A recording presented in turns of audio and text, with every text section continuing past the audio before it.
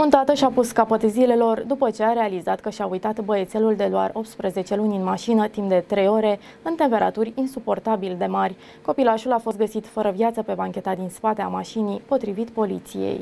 Bărbatul ieșise în oraș cu fiul lui când s-a produs accidentul tragic și atunci când și-a dat seama că acesta murise în interiorul mașinii încinse, s-a întors acasă și a dus trupul în interior, potrivit CBC News. La orele prânzului, poliția a primit un apel care anunța că bărbatul s-a sinucis. După câteva minute, ofițerii au primit un al doilea apel de la un membru al familiei, care i-a informat că tatăl băiatului i-a spus că și-a lăsat fiul în mașină timp de trei ore și că acesta ar putea fi mort mort. Polițiștii care au ajuns la casa bărbatului au găsit mașina pe alee cu portiera din spate deschisă și scaunul auto pentru copil gol. În casă au găsit băiețelul mort. Bărbatul în vârstă de 37 de ani a fost găsit mort în spatele casei cu o rană împușcată. Identitatea celor doi nu a fost făcută publică. Este o tragedie îngrozitoare și compasiunea noastră este îndreptată către familia greu încercată, a declarat pentru presa locală ofițerul Chris Hensley, dar am fi neglijenți să nu profităm de ocazie ca să le amintim oamenilor cât este de important să-și verifice vehiculele. Băiețelul de 18 luni este cel de-al șaptelea copil din SUA care a murit anul acesta pentru că a fost lăsat în interiorul unei mașini încinse și al 914-lea începând cu 1998, potrivit site-ului meteorologului Jean Null, relatează Digi24.ro.